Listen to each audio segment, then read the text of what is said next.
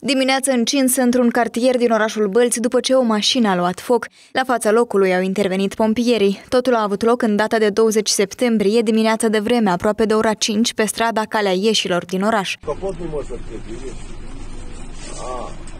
aș